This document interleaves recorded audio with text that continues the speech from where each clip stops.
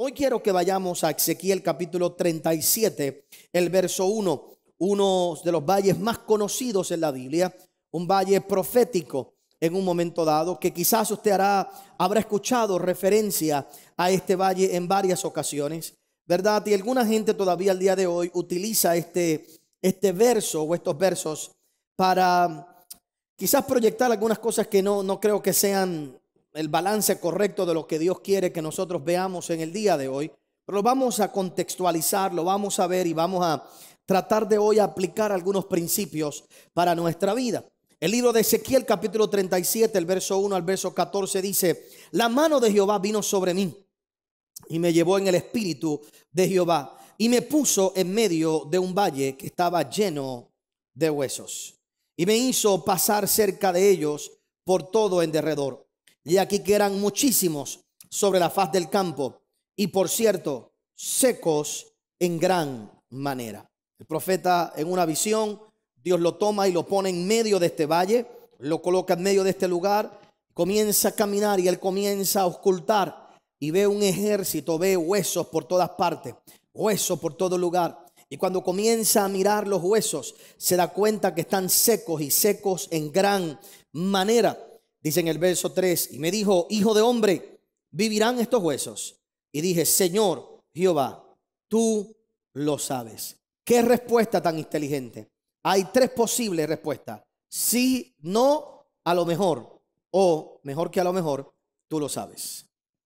Y es poderoso que el profeta no dice ni sí, no dice no, dice, tú lo sabes. Hay gente que automáticamente dirían que sí, porque piensan que su fe puede hacer que cosas que Dios no quiere que vivan, vivan. Pero en realidad no se trata de tú tener poder para que las cosas secan, vivan. Se trata de tú alinearte para que lo que Dios quiere que viva, aunque esté seco, viva. Vuelvo y repito.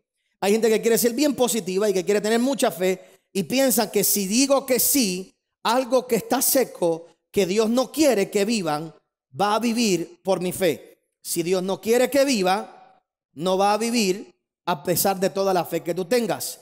Y hay un montón de cosas en tu vida que ya se secaron y que Dios quiere por secas y que tú no quieres o Dios no quiere que tú las revivas y estás hablándole a cosas que Dios no quiere que vivas.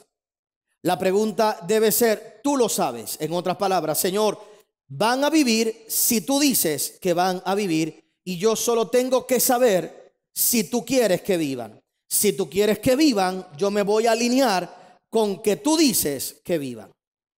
La respuesta correcta es esa del profeta. No es no y tampoco es sí. El Señor, tú lo sabes. Y si tú me dices, entonces yo me alineo con lo que tú dices. Lamentablemente en los tiempos que vivimos aún queriendo motivar a la gente a tener fe, queremos y pensamos sin darnos cuenta que podemos obligar a Dios hacer algo que Él no quiere hacer. Y nosotros tenemos que saber que no se trata de nosotros alinear a Dios a lo que yo quiero, sino yo alinearme a lo que Dios quiere que se haga. El verdadero poder en la vida de un hombre está no cuando yo pienso que puedo obligar a Dios a hacer algo que Él no quiere, sino cuando yo me alineo exactamente a lo que Él quiere que se haga. Así que la respuesta no era la correcta, no era sí. Y peor hubiera sido no. La respuesta correcta fue la que Él dijo, Señor, tú lo sabes. ¿Me estás preguntando? Tú lo sabes, Señor. Y entonces yo me alineo. Mira lo que dice en el verso 4. Me dijo entonces, profetiza sobre estos huesos y dile, huesos secos, oíd palabra de Jehová. Así ha dicho Jehová el Señor a estos huesos. He aquí yo hago entrar espíritu en vosotros y viviréis.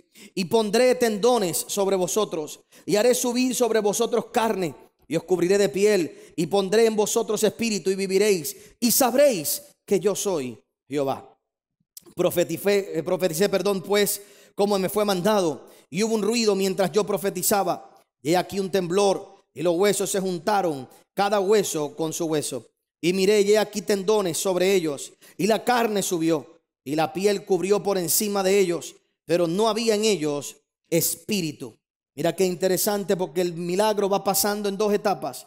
Huesos secos, profetizo, se unen tendón con tendón, piel, ahora hay un ejército, pero no hay vida. ¿cuál de los dos escenarios es más tétrico? ¿El de los huesos secos o el de los huesos juntos sin vida? Yo te sugiero que espiritualmente los dos son igual de malos. Los huesos secos desconectados es malísimo. Y los huesos secos conectados con aparente vida es igual. No tienen movilidad, no tienen ningún tipo de propósito. Ahí vamos a ir en un momento. Ahora, cuando están allí, entonces, ¿qué ocurre? Dice en el verso 9, y me dijo, profetiza al Espíritu, profetiza, hijo de hombre, y di al Espíritu, así ha dicho Jehová, el Señor, Espíritu ven dentro de los cuatro vientos y sopla sobre estos muertos y vivirán. Y profeticé como me había mandado, y entró Espíritu en ellos, y vivieron, y entonces estuvieron sobre sus pies un ejército grande en extremo. Me dijo luego, hijo de hombre, todos estos huesos son la casa de Israel. He aquí, mire qué frase tan poderosa. He aquí ellos dicen. He aquí ellos dicen, nuestros huesos se secaron y pereció nuestra esperanza y somos del todo destruidos. ¿Por qué el pueblo de Israel estaba como huesos secos? Por dos cosas. Su pecado los había llevado a decir, somos huesos secos. Tu vida se seca por lo que tú dices.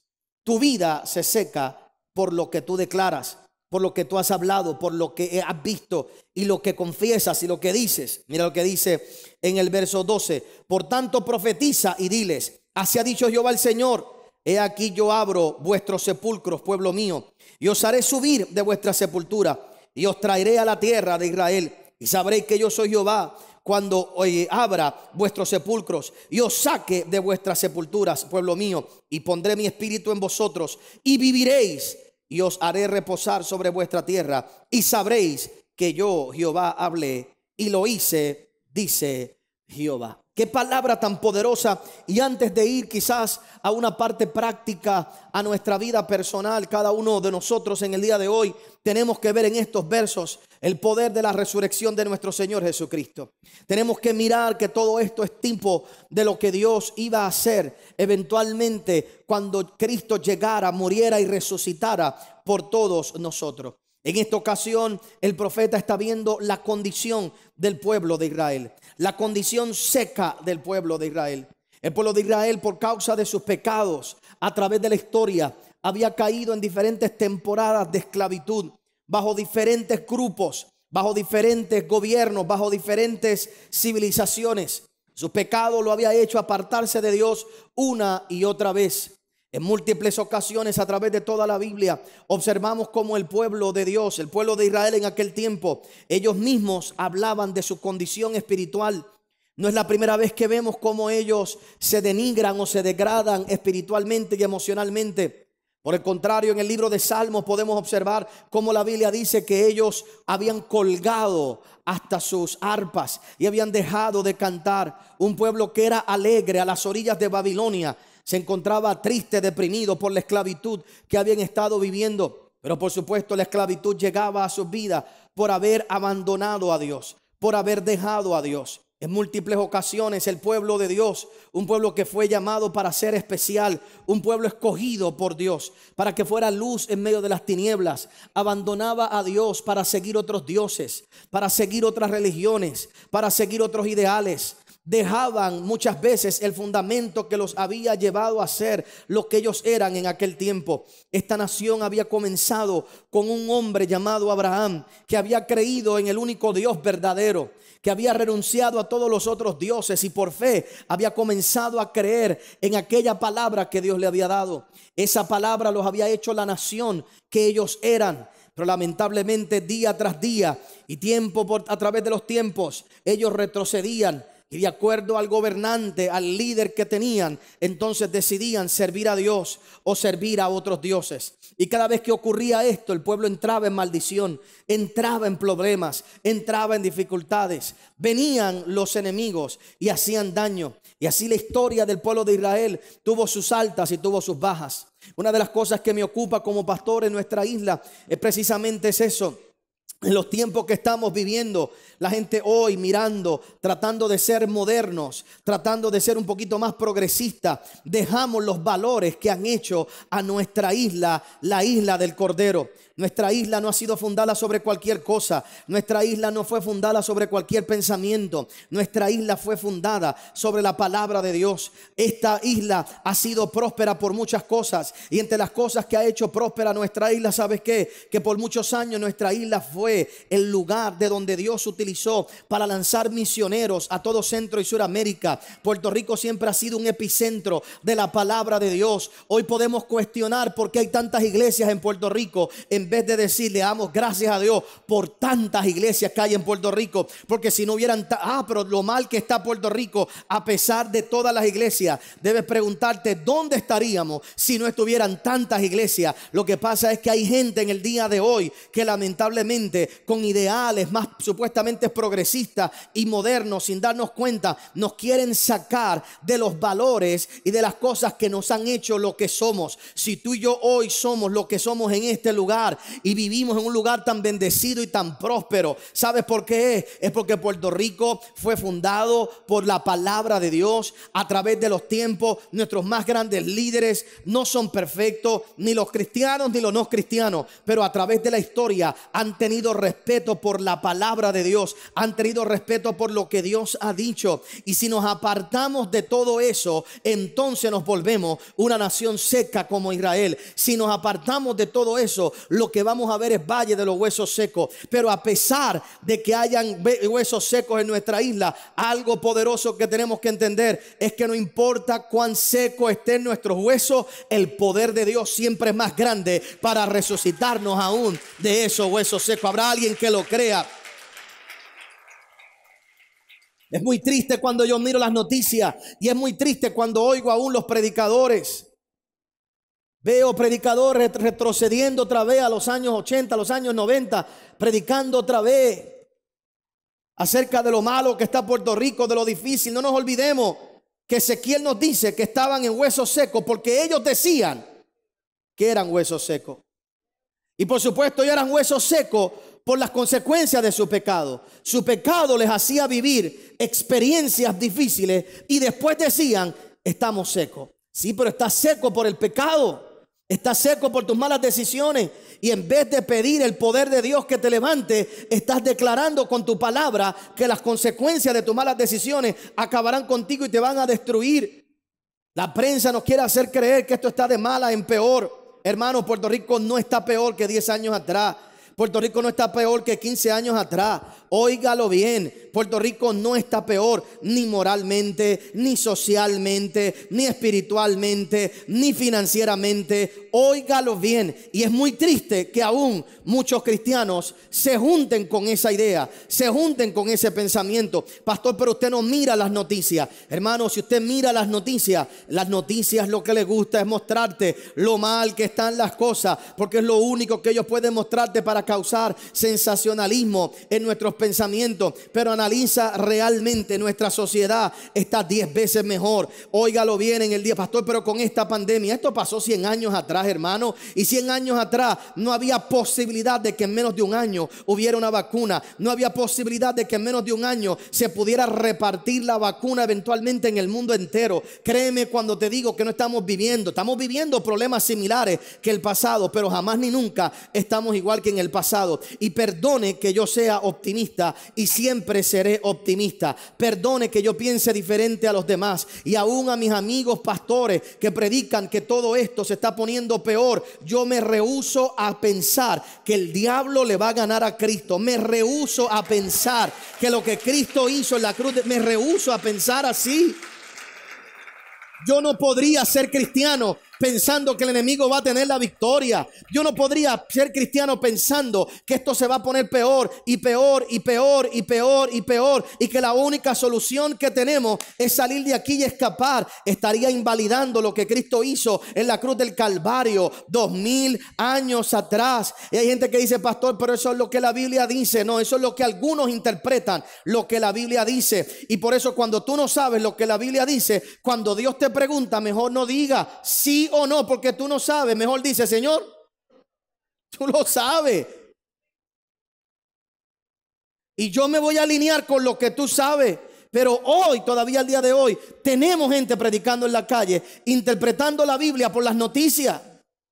Cuando la Biblia no se interpreta por las noticias, ni las noticias por la Biblia, la Biblia interpreta la Biblia. Y lo que nosotros tenemos que saber es que dos mil años atrás, Cristo ganó en la cruz del Calvario. Él le aplastó la cabeza al diablo, resucitó al tercer día y lo que ha prometido es una iglesia victoriosa Perdone que yo sea optimista, pero si yo no vivo de esta manera, mejor no vivo. ¿Sabe por qué? Porque la gente allá afuera hace entonces la mitad de las cosas que Dios dijo que teníamos que hacer. En la gran comisión Dios nos dice ir, predicar, pero también nos dice dos cosas más que solo los que tienen esperanza hacemos. La gran comisión no es ir, la gran comisión no es predicar, la gran comisión es ir, predicar, bautizar y enseñar. Y tú le enseñas únicamente a alguien a quien tú tienes esperanza de que va a cambiar y de que va a aprender algo. La gente prefiere ir allá afuera nada más, ir y predicar para satisfacerse de que cumplieron con alguna misión de Dios. Pero la misión no es ir y predicar, la misión es ir, predica, bautiza y enseña para que la gente sea discipulada y las naciones se tengan que someter. Porque un día dice la Biblia que vamos a poner todos los enemigos por estrado de los pies de Cristo. Y eso lo va a hacer la iglesia por más huesos secos que se vean. Por eso es que Dios tiene que buscar predicadores que cuando vean los huesos secos digan, ¿sabes qué? Señor, tú lo sabes. Señor, dime, ¿qué tú vas a hacer con estos huesos? ¿Tú vas a decir que van a vivir? Pues entonces yo me voy a atrever a predicar de que los huesos van a vivir, aunque estén secos en gran manera. Aunque estén secos, yo voy a predicar que van a vivir. Por supuesto, los predicadores que predicamos así, tenemos que aguantar. Tenemos que aguantar. ¿Por qué? Porque aún nuestros propios amigos cristianos no van a creer de la misma manera, se van a molestar. Y más en la sociedad que vivimos, que hay tanto changuito que cualquier cosa que tú dices, la gente se ofende. Y yo quiero que tú sepas que la palabra de Dios ofende. Porque cuando te digo que pecado es pecado y te ofende, ¿sabes por qué? Es porque estás en pecado. Cuando te predico de algo que no te agrada y te molesta, es porque estás mal. La palabra de Dios ofende al pecador. Óigalo bien. Por eso es que la palabra de Dios no va al pecador. La palabra de Dios va al espíritu. Porque cuando el espíritu se vivifica, entonces el pecado se queda a un lado. El pecado se queda atrás. El pecado queda a un lado. Yo vengo a decirte en el día de hoy que hace dos mil años atrás, óigalo bien, Él murió por nosotros en la cruz del Calvario. Y y todos los huesos secos de nosotros comenzaron a unirse y ahora el Espíritu de Dios está en nuestras vidas y lo que tenemos que tener es la certeza y la seguridad de que ese poder del Espíritu Santo es más grande que cualquier ideología, que cualquier pensamiento negativo que quiera venir en contra de nuestra sociedad. Ahora por un momento Aquí hay dos tipos de personas que llegaron a esta iglesia en dos condiciones diferentes. Todos aquí llegamos en una de estas dos condiciones.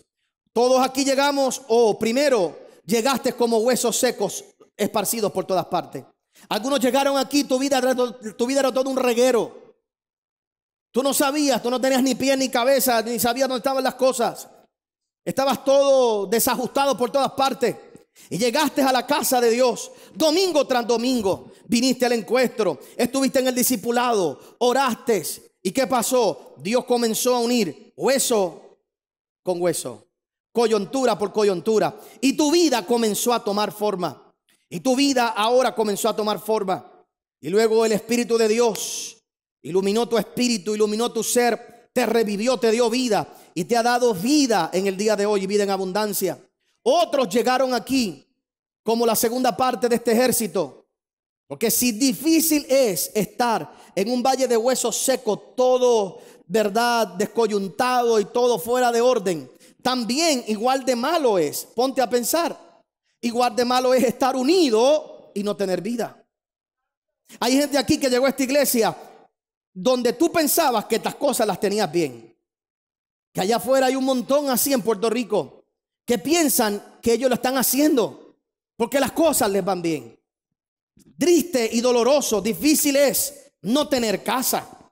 Difícil es no tener apartamento. Difícil es no tener donde vivir. Pero igual de difícil es tener una buena casa y un matrimonio en divorcio. ¿Me explico? Hay algunos que tienen los huesos secos, hay otros que parecen que están bien. Pero lo que parece que está bien no necesariamente tiene vida. Porque la vida no te la da que tus cosas estén ordenadas. La vida te la da que el Espíritu de Dios esté dentro de ti. Que el Espíritu de Dios esté dentro de ti. Difícil para una familia es vivir de un lugar a otro, perderlo todo, no tener casa, perder el auto, perder aquello. Eso es un valle de huesos secos, pero una vez más, ¿de qué te sirve un buen carro, una buena casa, un buen hogar a nivel físico y que tu hogar por dentro se esté perdiendo? Difícil es que una persona soltera se encuentre solo, sola, triste, sin casa, sin trabajo, sin progreso, sin incremento en su vida. Pero también es triste que la persona soltera prospere, progrese, tenga dinero, tenga una buena casa, tenga futuro, pero por dentro no tenga vida y se sienta miserable, se sienta triste. Solo el Espíritu de Dios puede llenar la vida del casado, la vida de soltero. Si triste es un joven que no tenga para dónde estudiar, si triste es que un joven no tenga para estudiar, que no tenga para ir a una buena universidad, a una buena escuela. Triste también es aquellos que van a las mejores universidades, pero sus vidas están vacías, están deprimidas, están tristes, porque al fin y al cabo no es Harvard lo que cambia tu vida, es el Espíritu de Dios que llena tu ser. Y yo vengo a decirte en el día de hoy que no importa la condición, si tú estás en un valle de huesos secos o si tú eres un ejército formado en tu vida, la única respuesta que tú tienes es que el Espíritu de Dios, el Espíritu que resucitó a Cristo de los muertos, se meta dentro de tu vida para que te haga a ti una persona nueva, transformada por el poder de Dios. Y perdone una vez más el optimismo, pero yo creo que mientras más prediquemos esta palabra, más gente en nuestra isla se va a levantar, más gente va a despertar y más gente va a entender la necesidad que se tiene del poder del Espíritu Santo en la vida de cada uno de nosotros. Cuando miramos esta historia, lo que vemos claramente es la obra del poder de resurrección en la vida de toda una nación. Y tú y yo no podemos permitir, para moverme entonces a nuestra vida personal por un momento, no podemos permitir que por el medio, por las ideas progresistas nuevas que parecen modernas y bonitas, abandonemos aquellas cosas que nos han hecho lo que somos en el día de hoy. Abandonemos realmente lo que nos ha hecho lo que somos en el día de hoy. Y Puerto Rico fue fundado bajo esta palabra. Y a través de los tiempos, nuestra isla ha sido bendecida porque hemos creído en Dios por encima de todas las cosas. Y si sacamos a Dios de nuestros discursos, y sacamos a Dios de la política, y sacamos a Dios de la escuela, y sacamos a, Dios de la sociedad, sacaremos a Dios de todo lo que es vida en realidad en todos nosotros. Y podremos ser un país muy ordenado, con una buena casa, pero sin vida por dentro. Sin vida por dentro. Y tan mal están los huesos secos, tirados en el suelo, como los huesos secos formados, unidos y sin vida.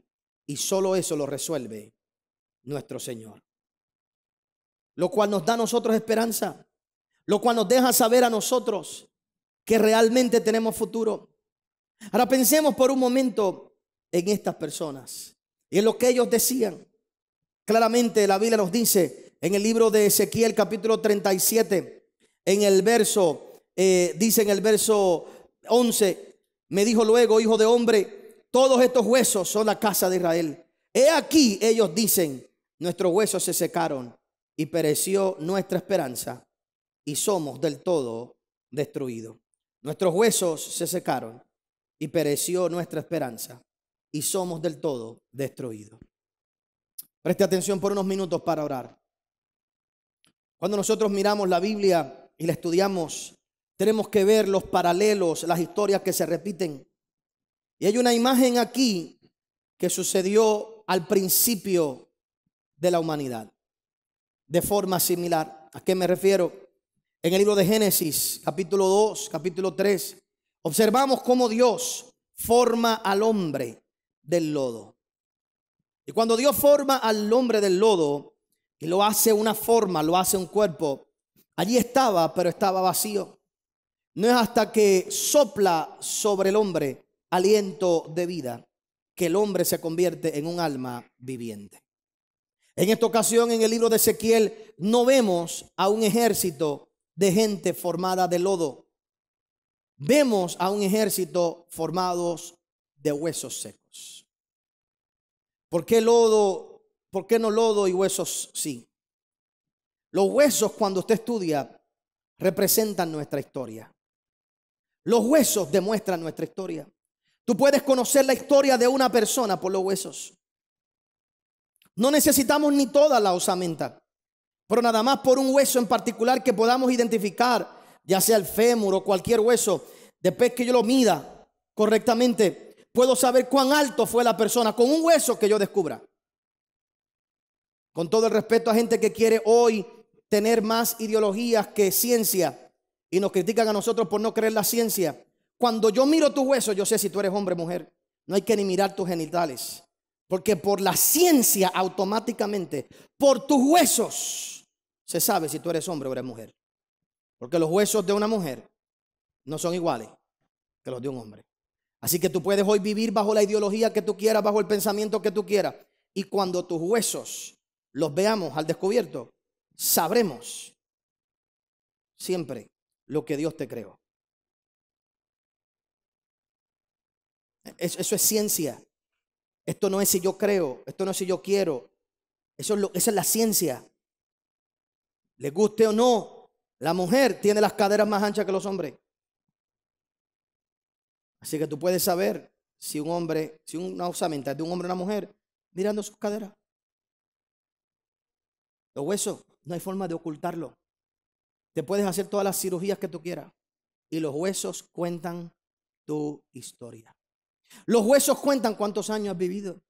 Los sueños cuentan los golpes que has recibido. Aquellos que somos atletas profesional como este servidor, tenemos en los huesos. Yo digo esas cosas y ustedes no creen, ¿verdad? En nuestros huesos tenemos las marcas. Tengo mi clavícula rota. Tengo este dedo aquí. Ya este dedo no es igual. Este dedito no es igual. En un torneo profesional en Lloren Torres me, me partí el, Literalmente fue en Torre. me invitaron a jugar baloncesto unos muchachos y me fui para allá y la bola me cayó aquí. Y se salió el hueso. Este huesito de aquí cayó al lado aquí. Así que tenía dos dedos. Yo me creía Mel Gibson.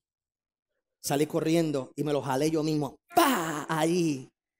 Y entonces le digo, mira, no se preocupe que está bien. Y de momento hace plap y se vuelve a caer.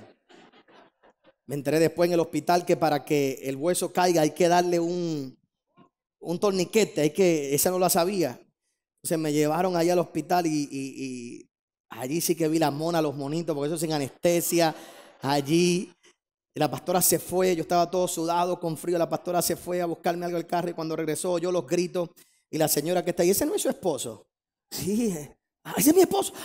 Y la señora dice, no le da pena. No, no, déjeme grabarlo. Y entonces lo que está grabado, yo, ella con todos los gritos allí así de, de un muchacho y... Pero mi dedito cuenta mi historia.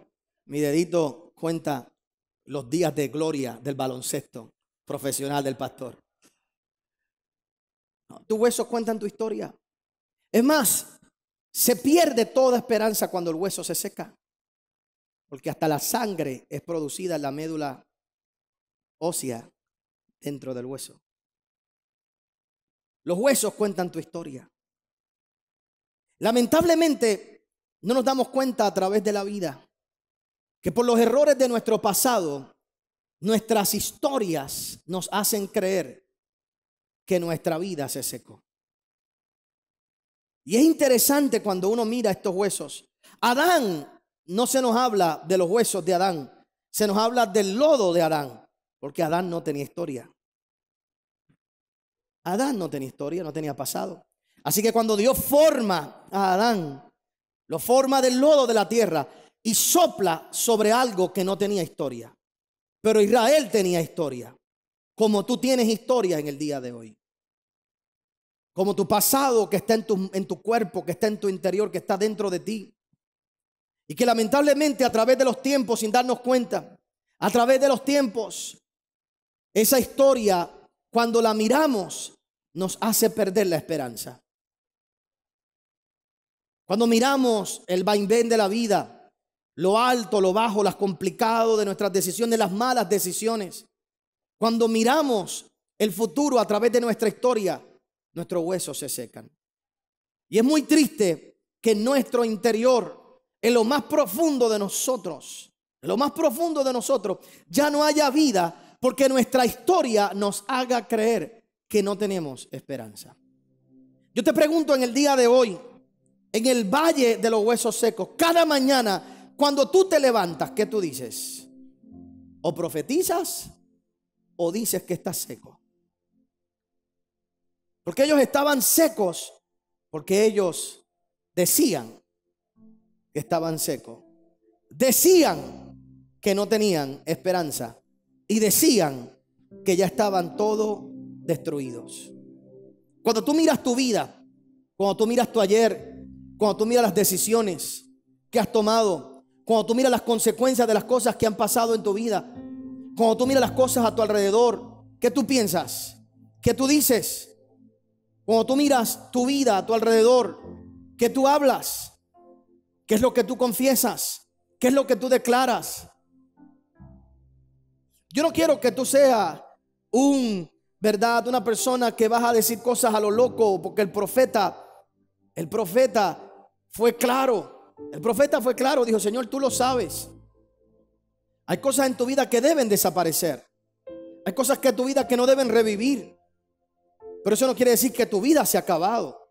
Eso no quiere decir que tu vida se ha terminado. Eso no quiere decir que tu historia no se va a completar. Te pregunto en el día de hoy, cada mañana cuando tú te levantas, ¿qué es lo que tú dices de tu vida? ¿Qué es lo que tú hablas de ti? ¿Qué es lo que tú hablas de tu historia? ¿Qué es lo que tú hablas de tu pasado? Y lo triste en los tiempos que estamos viviendo es que hay gente que parece ser positivos en estos tiempos, pero el mensaje detrás de lo que dicen es negativo. Algunos de ustedes yo veo sus posts que tratan de ocultar la negatividad de sus ideas con pensamientos que parecen positivos, pero el mensaje detrás de lo que pusiste me dice que tú no crees que hay esperanza para tu vida. Que no nos damos cuenta que estamos viviendo en un tiempo de arte de decir cosas negativas que suenen bonitas para agradar a un montón de gente.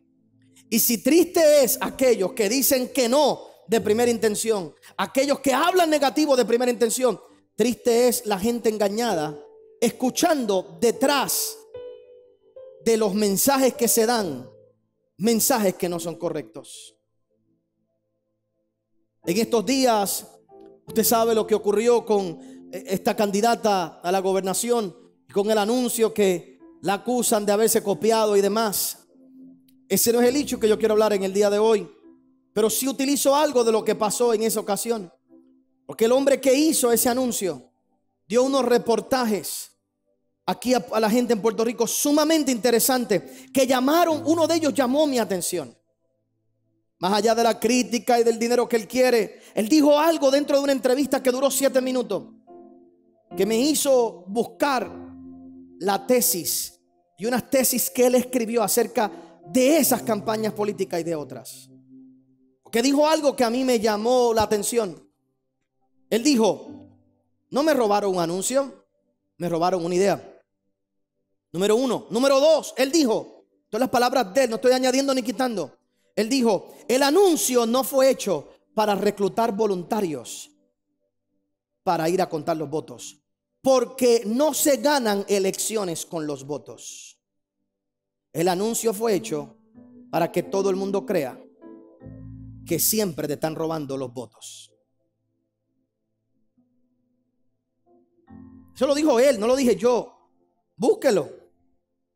Así que el anuncio sonaba bonito, porque en medio de querer reclutar gente para que vayan a contar los votos, el verdadero mensaje detrás del mensaje es hacernos creer a todos nosotros que cuando vamos allí, nuestro voto nos lo van a robar. Y si tú votaste por alguien y perdió esa persona, tú estás pensando que la elección se la que se la robaron. Y tener un pueblo pensando por cuatro años que le robaron unas elecciones es un pueblo fácilmente manipulado para cualquier revolución y para cualquier cosa. Suena bonito reclutar votos, reclutar gente para voluntario. Suena lindo Vuelvo y repito, eso no lo dije yo, eso lo dijo él. Y yo lo uso como ejemplo porque aún algunos de ustedes dicen cosas que parecen bonitas, pero que el mensaje, detrás del mensaje, lo que demuestra es que tus huesos se están secando. Tú y yo no estamos aquí para que lo que digamos agrade a los demás.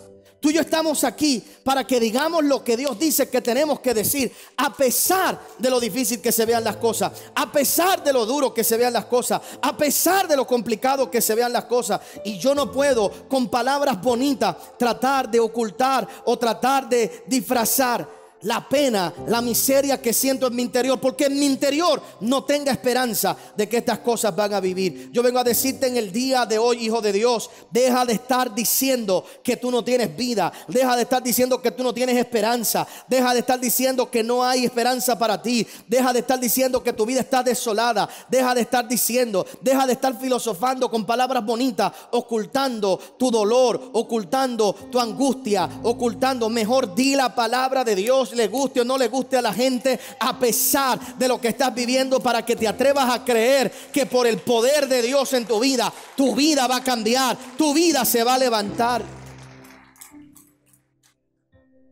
Óigalo bien en el día de hoy. Yo lo que quiero que usted reciba en esta mañana, tus huesos se secan, no por tu pasado, sino porque tú dices que te estás secando. Porque tú dices que no hay esperanza para ti. Porque tú dices, se acabó, se terminó, estoy destruido, estoy desolado. Hoy es el día de tu pararte firme y decir, ¿sabes qué? Yo no estoy desolado. Señor, ¿qué es lo que tú quieres conmigo? Señor, ¿qué es lo que tú vas a hacer en mi vida? Dime. Y cuando el Señor te muestre lo que va a hacer contigo y tú busques su palabra y Él te enseñe lo que Él va a hacer contigo, atrévete en el día de hoy. Atrévete Atrévete a declararlo a pesar de lo que el mundo piense. Atrévete a confesarlo a pesar de lo que tú veas y tus huesos van a vivir. Yo vengo a decirte en esta mañana, para ti todavía hay esperanza. Para ti todavía hay esperanza. Para ti todavía hay esperanza. Para ti todavía hay esperanza. Es verdad, hay cosas que ya no van a volver. Hay cosas que se tienen que secar. Pero hay otras cosas que están secas. Que Dios está esperando que tú te atrevas. Que tú te atrevas a predicar y a hablar y a decir lo que Él ha dicho de esas cosas para que se levanten. Si el profeta hubiera dicho ante la pregunta, cuando Dios le dice, vivirán estos huesos. Y Él hubiera dicho, no. ¿Sabe lo que hubiera pasado? Si el profeta hubiera dicho, no van a vivir. ¿Sabe lo que hubiera pasado? Dios lo hubiera sacado a él y hubiera buscado a otro. Porque los huesos secos no van a vivir o morir porque un hombre no se atreva a predicar la palabra. Dios va a buscar a alguien que se atreva a decir lo que Él quiere que se diga para que la palabra se cumpla y se complete. Por eso yo vengo a decirte en el día de hoy, atrévete a decir de tu vida lo que Dios dice que tienes que decir. Atrévete a creerle en el día de hoy. Qué bueno que decidiste ver este contenido especial para ti. Gracias por haberlo visto, haberlo disfrutado en el día de hoy. Quiero invitarte a que te suscribas en nuestro canal apretando el botoncito rojo aquí en la parte de abajo. Por supuesto, también encendiendo las notificaciones, esa famosa campanita que te avisa cada vez que publicamos un nuevo video o que salimos en vivo. Y por supuesto, también, por favor, comenta, envíanos tu petición de oración y comparte este video con otras personas. Espero que sigas disfrutando de todo el contenido que tenemos eh, especial preparado para ti en este canal. Gracias por haber acompañado al pastor Otoniel Font. Si este mensaje ha sido de bendición a tu vida, puedes obtenerlo llamando al número que aparece en pantalla. También puedes hacerlo accediendo a nuestra página en internet www.otonielfont.com. Te esperamos en la próxima edición del pastor Otoniel Font.